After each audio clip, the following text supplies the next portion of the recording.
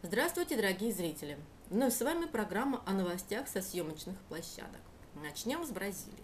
Там всегда есть что-то интересное для самой придирчивой публики.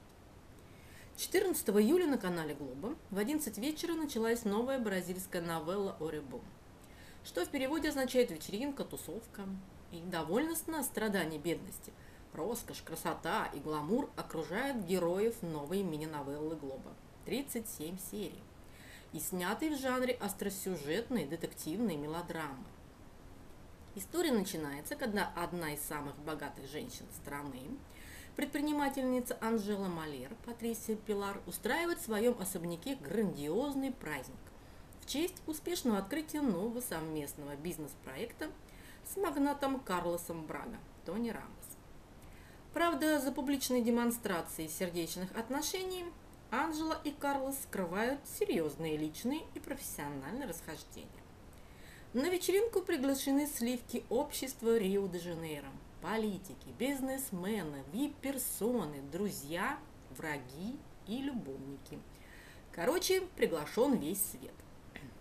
В центре внимания прессы и гостей, помимо хозяйки дома и Карлоса Брага, также Дуда, Софи Шарлотт приемная дочь Анжелы и ведущие адвокаты фирмы, респектабельная супружеская пара Жильда Кассия Кис и Бернардо Резенде Жозе де Абрео.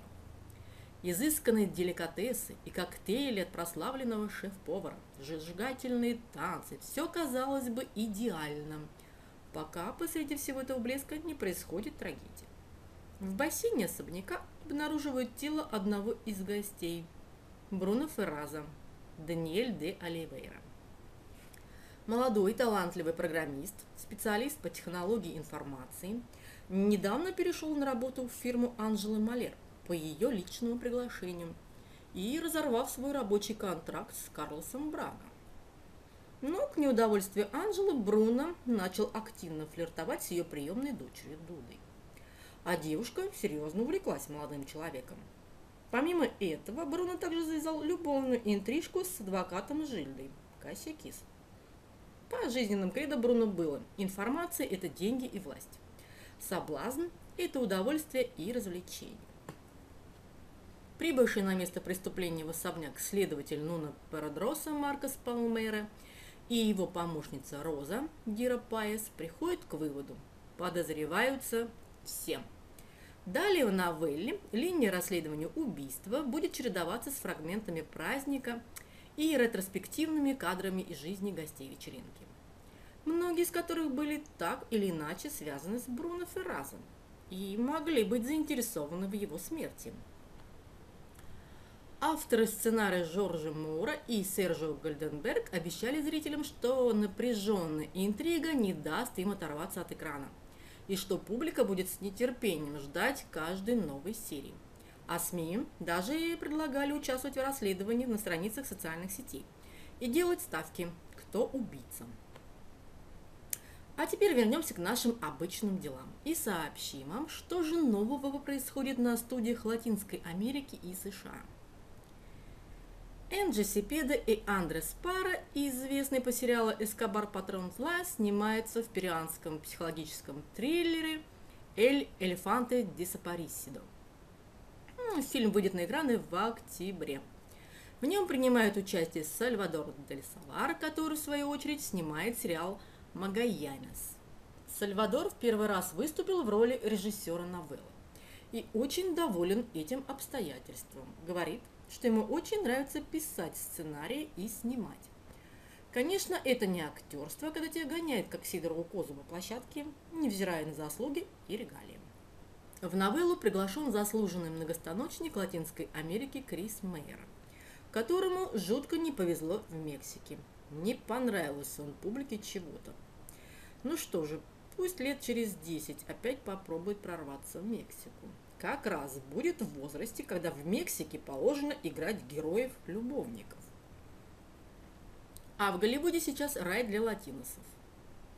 Хавьер Бардем, а, вероятно, будет играть роль Эрнана Кортеса в новом фильме Спилберга «Монтесума».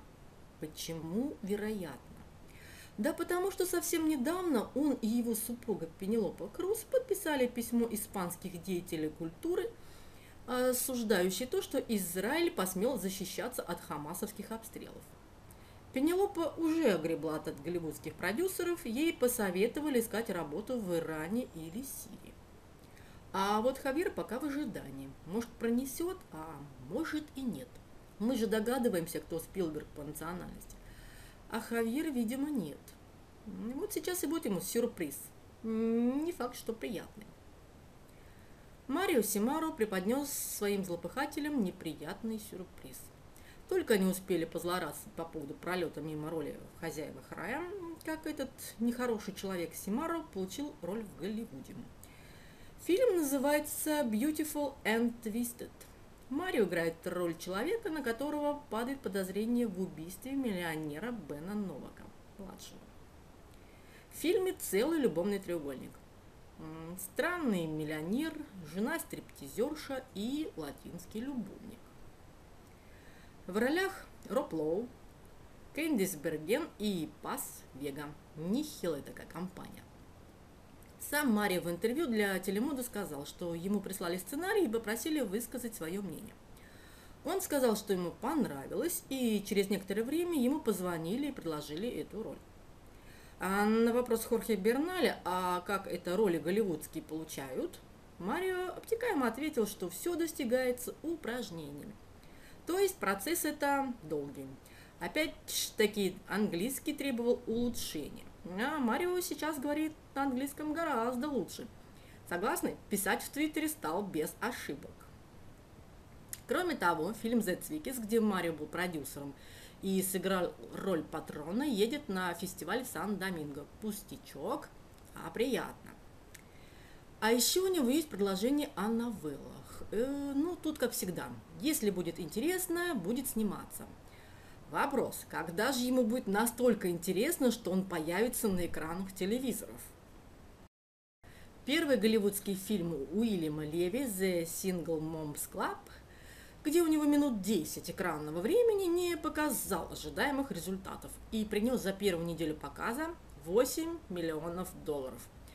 Оно, конечно, может и много для кинотеатров «Эль Пендеха Дель Мар», но для Голливуда это слезы горькие. А купит ли затраты, непонятно. Посмотрим, что будет с другими его американскими ролями. Например, с ролью в фильме A Change of Heart, где Уильям играет вместе с Эдуардом Янисом, и фильм The Whale, вампирская история, куда он умудрился засунуть, посниматься своего сына Кристофера. Видимо, Вилли и сам не особенно доволен своими успехами. Иначе зачем бы он вернулся на телевизу? А ведь обещал, что завяжет с новеллами. Мы с дуру поверили. Кейт Дей Кастилли снялась в фильме «33». Это история о 33 чилийских шахтерах, которых спасли из взорвавшейся шахты.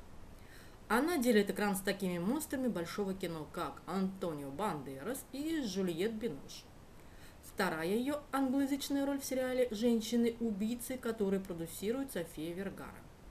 Ну и в промежутках между американским кино Кейт начала съемки в «Хозяевах рая». Крутая она там наркоторговка, с тяжелым детством и удаленностью от культурных центров. Сами понимаете, из игрушек были только револьвер и пачка кокаина. А потом пошло-поехало. Вот так и выковываются герои наркотрафика. А у нас на сегодня все. Подписывайтесь на наш канал. До свидания.